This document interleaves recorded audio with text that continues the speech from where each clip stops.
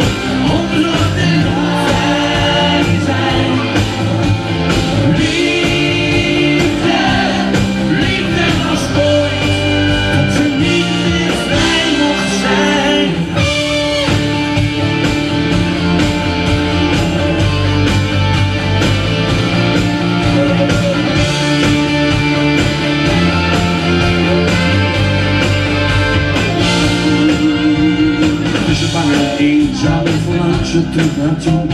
Geborgenheid en buiten in een liefdevolle zon.